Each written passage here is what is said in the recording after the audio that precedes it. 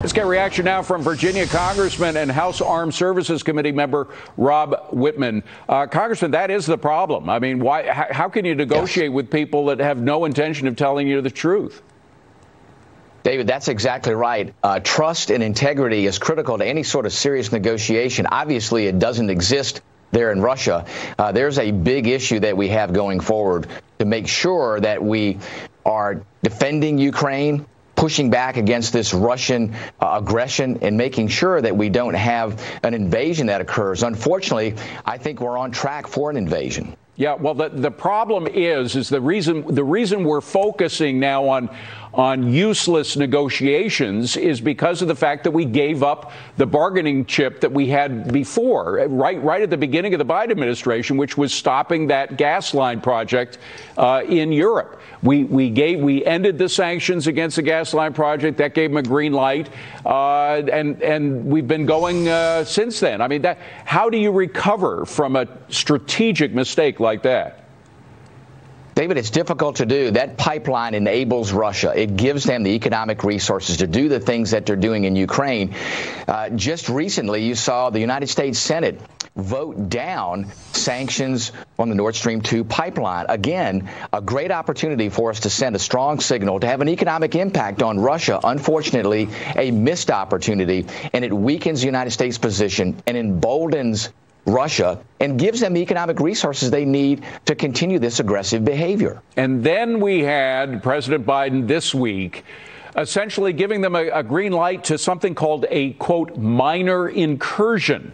Uh, that was the president's word to say what might be acceptable on the part on the part of Russia. I mean, it's just you, you do, first of all there, you can debate whether or not that would be acceptable in any circumstance, but but to say it out loud, I mean, this is this is uh, this is horrible negotiating tactics.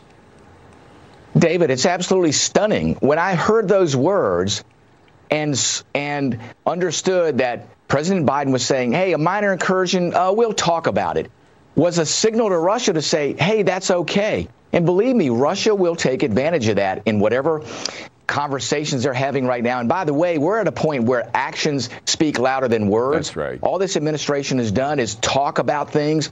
Russia sees no action to dissuade them from doing the things that I think that they're planning on doing. There are things we could do with our NATO allies, put our NATO troops up on the eastern Polish border to make sure that Ukraine has access to intelligence, surveillance, and reconnaissance assets the United States has. There are a lot of things that we could do to proactively send the message to Russia not to do this. And if they do, there'd be immediate uh, impact of this, not just say, by the way, if you do this, uh, it'll be really bad. Yeah. Well, Russia looks at it and goes, well, we don't know what's really bad. And then Putin's willing to put his people through pain and suffering to achieve this takeover of Ukraine. Well, the, the bottom line is, by the way, Jen Psaki did try to clean up what the president said, but nothing that she can do to try to clean it up is going to is going to erase it from the mind of Vladimir Putin. He knows what the president said. He knows it's in there. He knows that he has a free hand. Uh, we we we got to jump, but lot of people are worried that we get back into a Cold War situation with Russia that that lasted 50, 60 years. We don't want that again. Uh, is is that something that is a real possibility here? Well, some of that's real. The thing is, is Russia understands one thing and one thing only, and that is assertive power by the United States. And listen, the only way to make diplomacy work is to make sure you have a backdrop of strong national security. That's what got us past Russia in what we saw during the Cold War. That that's what that's what got Russia to back off, and what really put Russia in a position uh, of a weakened position, not being able to move forward. It was U.S. strength. Yeah. We are we are moving from a position of weakness now. That only emboldens Russia, and in the long right. term, doesn't help security in Europe. Peace through strength. It's that simple. Uh, Absolutely. Congressman, thank you very much. Appreciate it. Well, Democrats